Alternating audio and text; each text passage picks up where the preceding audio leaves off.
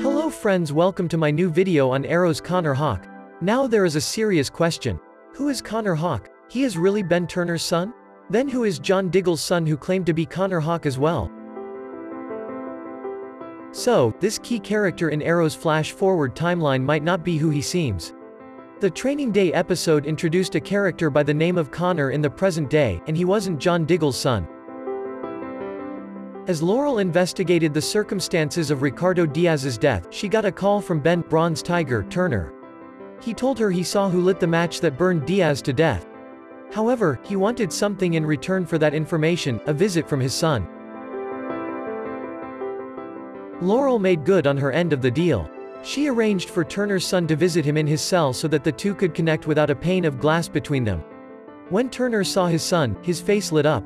And said, Connor. He then kneeled down and opened his arms to embrace him. Then he said, Come here, my little hawk. Turner's word choice was no accident. By calling his son both Connor and Hawk, he inevitably links his son to Connor Hawke, Mia Smoak's friend from the Flash Forward storyline. However, the Flash Forward version of Connor Hawke claimed to be John Diggle's son under an assumed name.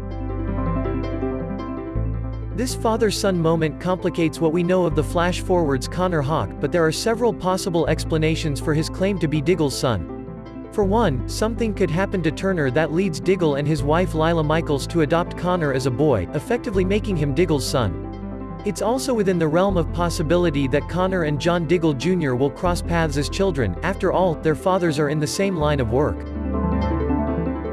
In a future where vigilantes are outlawed, John Jr. may have assumed his friend's name to hide from scrutiny, or from those who hold a grudge. Then again, there's always Occam's razor, Connor simply lied to get himself into Mia's good graces. Joseph David Jones also played Connor Hawke in an alternate timeline on Legends of Tomorrow earlier. But he was John Diggle Jr. And he didn't use his name because he didn't feel like he deserved to, after his father was killed. While in the comics, Connor is also the son of Oliver Queen, the original Green Arrow, and his former girlfriend Sandra Moonday Hawke. Arrowverse has often complicated things, and not everything is as per the comics. Don't worry. This is not a big deal here. In coming episodes, this will be cleared up. Till then, keep watching my videos, and subscribe to my channel. See you soon.